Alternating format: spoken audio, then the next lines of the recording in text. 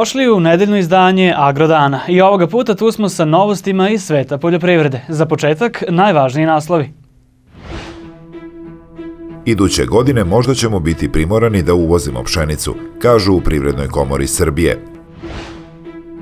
Med nije jedini pčelinji proizvod, naglašava pčelar iz Erdevika Ognjen Delić. Prilikom davanja subvencija država treba da pojednostavi proceduru, kažu boćari i vinogradari Stare Moravice.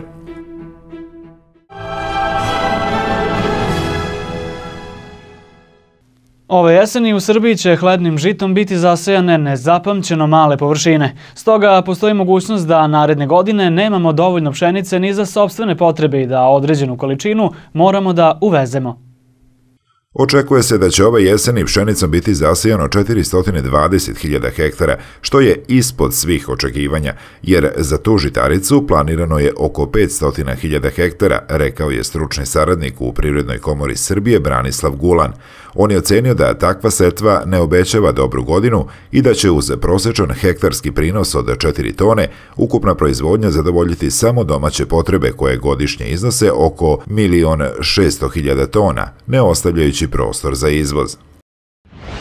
Iako vremenske prilike na Fruškoj gori nisu pogodovale medobranju, pčelar Ognjen Delić iz Rdevika nije zabrinut jer je, kako kaže, uspeo da sakupi dovoljno ostalih pčelinjih proizvoda.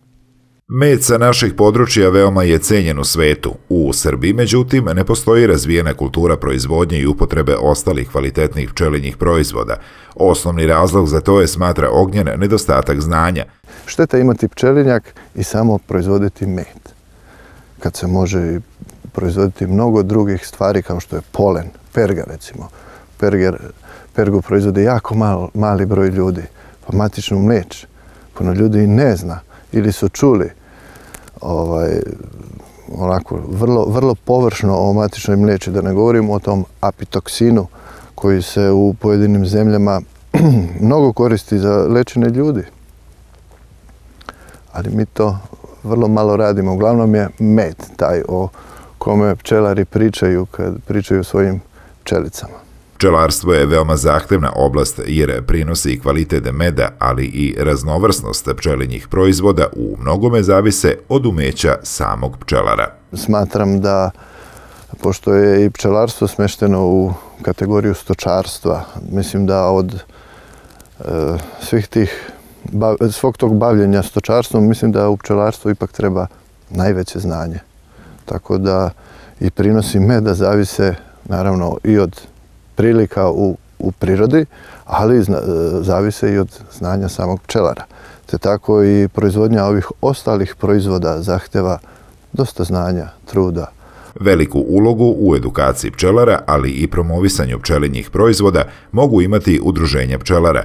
Toga su se dosetili i članovi Erdevičkog udruženja LIPA. Aktivnosti udruženja jesu i te na promociji pčelinjih proizvoda, odnosno na podizanju jedne kulture korištenja pčelnih proizvoda. Jer mislim da je potrošnja pčelnih proizvoda jako mala.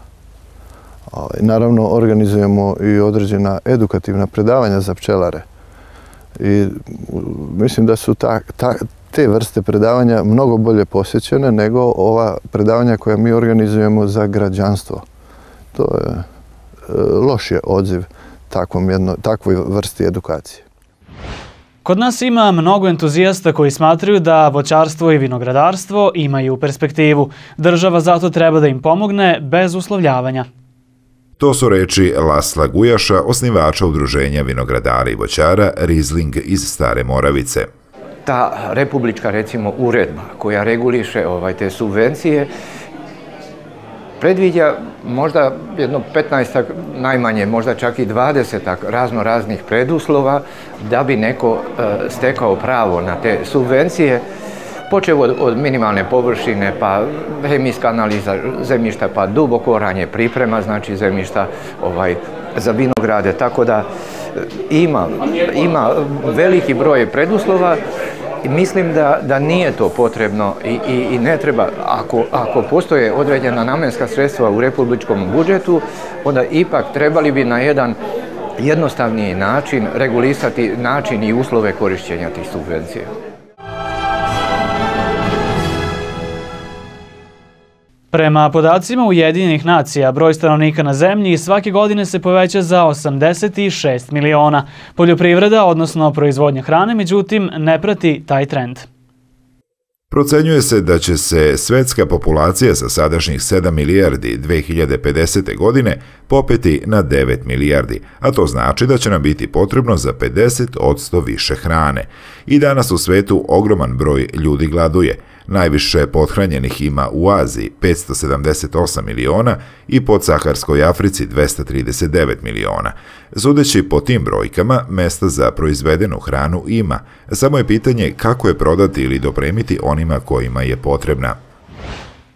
Evropska komisija je ovih dana odobrila upotrebu prirodnog južnoameričkog zaslađivača stevije u hrani i pićima Evropske unije. Odobrenje je dato po preporuci Evropske agencije za bezbednost hrane. Stevija je od 30 do 300 puta slađa od šećera, ali je beskalorična, te ne utiče na nivo šećera u krvi.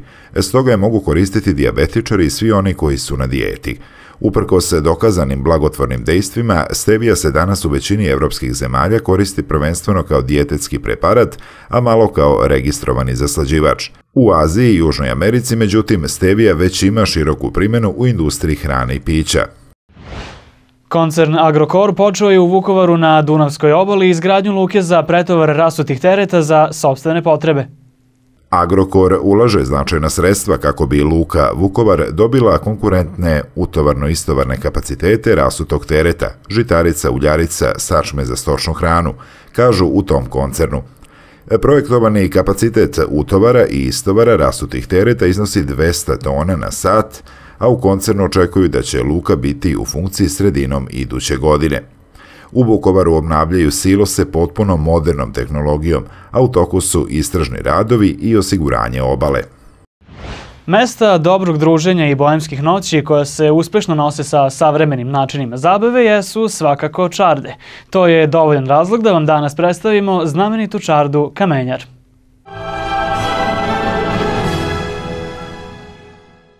Ako neka mesta imaju dušu, to su čarde. O svakoj postoji priča, začinjena iskustvima i doživljajima gostiju, boema i slučajnih prolaznika. Čarda Kamenjar postoji od 90. godina, ali je na tom mestu uvek bilo mesto okupljanja ovdašnjih stanovnika.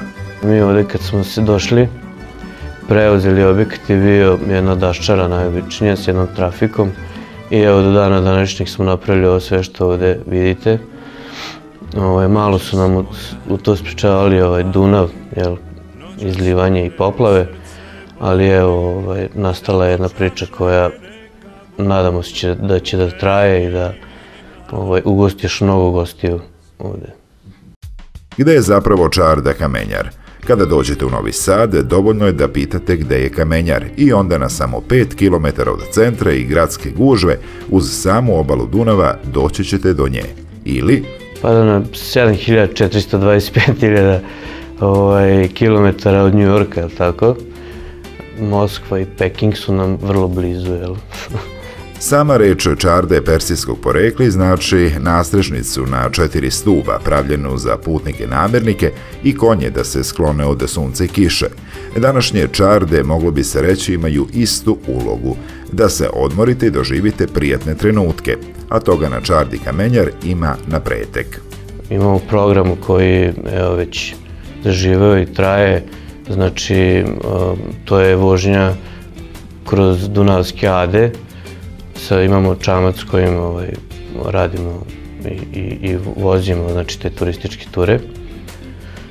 Leti organizujemo ovaj, takmičenje u kuvanju riblje čorbe, imamo čak i likovnu koloniju sve to skupa daje znači, ovaj, jedan turistički proizvod, da tako kažem, koji ovaj, na, eto, traje već dve decenije, da ne kažem.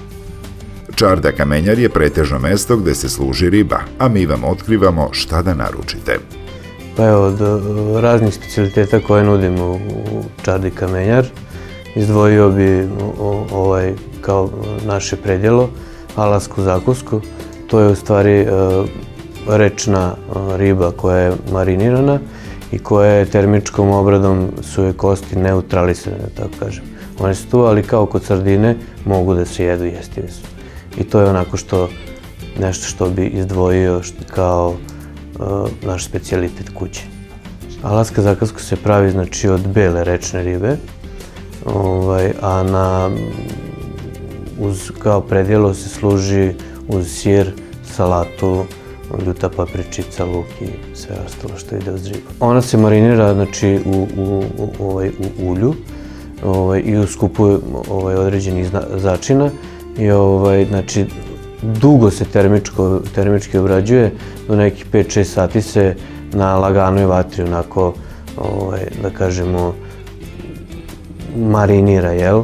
I ovaj, da bi izgubili, da bi se izgubile te kosti koje, jel, ovaj, smetaju pri jelu ribe.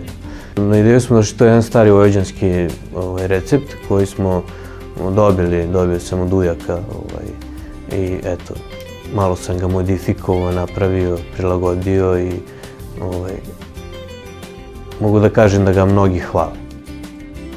Mi ćemo za, znači, za novogodišnju noć pripremamo ovaj, dva menija za koje će moći gosti se odluče. To će biti riblji, pošto je aktuelan još uvek tada ovaj, post.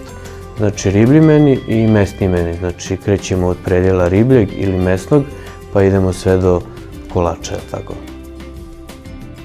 Naš domaćin osvojio je za ovo predjelo nekoliko priznanja na prestižnim manifestacijama za doprinos popularizaciji jela od ribe.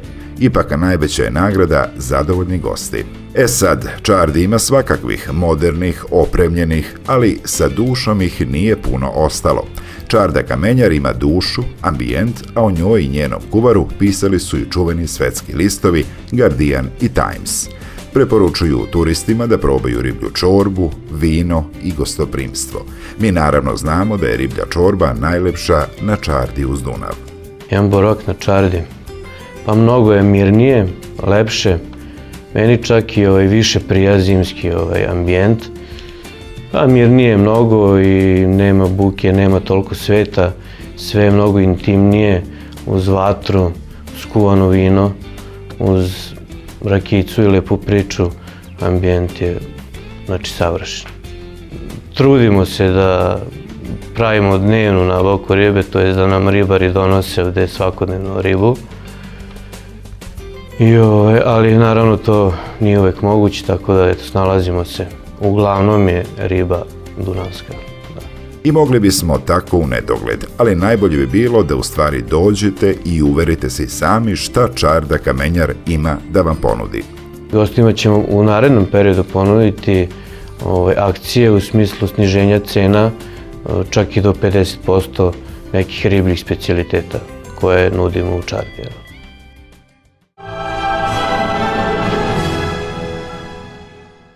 Toliko u ovom izdanju emisije Agrodan. Sa novim informacijama iz sveta agrobiznisa vidimo se već sutra. Do tada emisiju možete videti i na sajtu agrodan.info. Prijatno i do gledanja!